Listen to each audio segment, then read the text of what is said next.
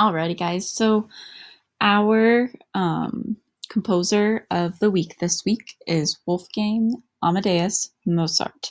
It's a pretty crazy name, right? um, most people just say, like his last name right here, Mozart. Uh, he lived from 1756 to 1791.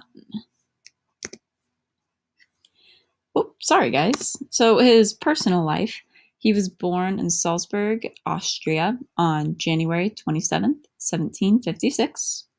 He was actually a child prodigy. What this means is that from a very, very, very, very young age, he was just amazing at music and he didn't even have to really put a lot of effort into it. It just came to him naturally. Um, so he composed his first piece of music at age five. That would be like kindergarten. That's crazy. He published his first piece of music at age seven. So by being published just means that it was put out into the public. At, like first piece of music that he put out to the public to see was at age seven. Um, his father was also a musician, so this is probably why he was such a great one. Um, and this is actually the first composer that we've talked about that's had a um, a family of his own.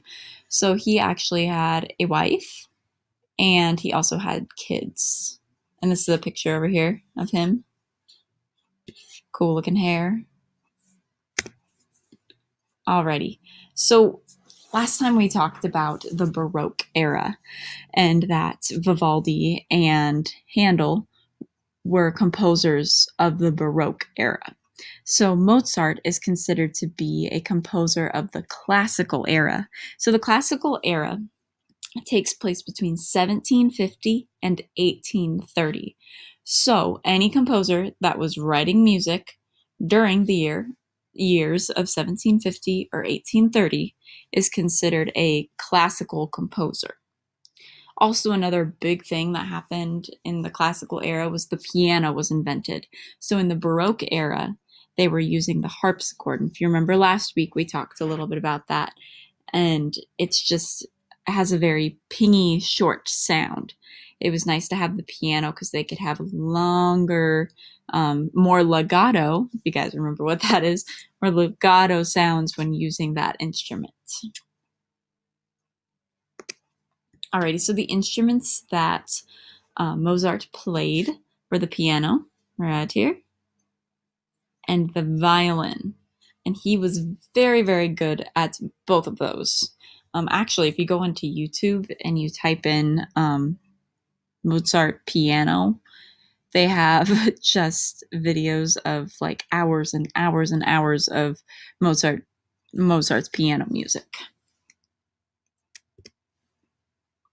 Alrighty, so Mozart's music, he composed 600 musical works. I think I touched on this a little bit last week, but what musical works means down here musical works, multiple pieces of music combined to make a complete work.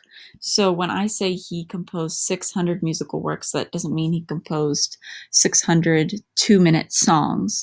It means he composed 600 pieces of music put together, and those usually ranged from like an hour to an hour and a half to two hours. These are long works of music.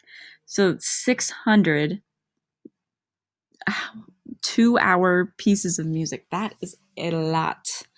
Um, he also wrote a lot of operas. He was very popular for writing operas, and some that you might hear about at some point. The very popular ones that he did were The Marriage of Figaro and The Magic Flute.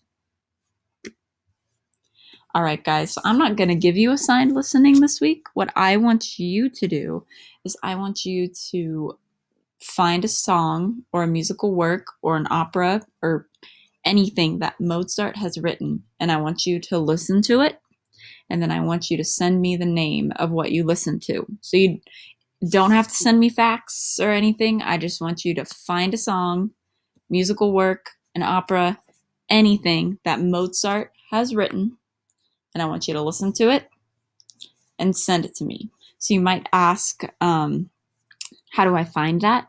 You could go to YouTube and you could type in Mozart and listen to a few and find one that you really like.